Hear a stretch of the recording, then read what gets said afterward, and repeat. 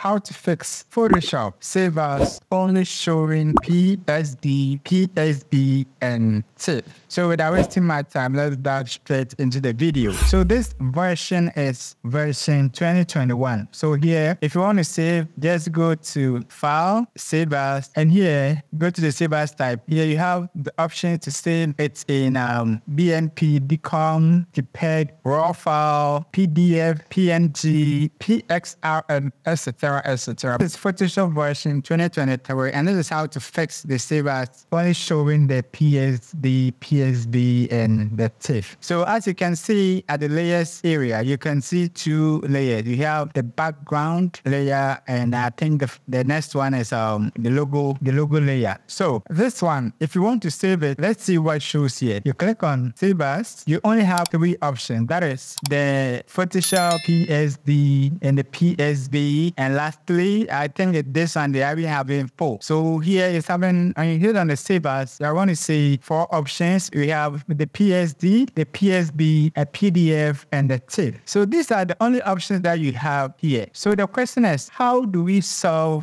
the problem of issuing the JPEG, the PNG, and etc. etc. Now, the first thing that you can do is to flatten your layers. So let's say the first thing is to flatten image. So my image is flattened. So let's go back to File, Save As. Now you can see up the you can see what all the options, but this is not the best option that you can use. Let's solve this problem permanently. I said what? Let's solve this problem what permanently. So um, now let me close this one and undo to activate the first layer. All right. So now we have two layers. Now to solve this problem, first thing that you need to do is go edit. You go to preference and you go to file handling. And when it pops up under under the file handling um, option, you locate enable legacy save as. Enable legacy save as. So you check it, you click on what. Okay. Now let's try and save it and see if we are going to have all the options that are needed. Now again, go to file, you go to what? Save as. And now let's hit on the save as type and see if all the save as options have now been activated. So now click here and see that we have it. You have had value in this video, please don't forget to subscribe, like, and comment. And before you drop out, check out these two videos and we're going to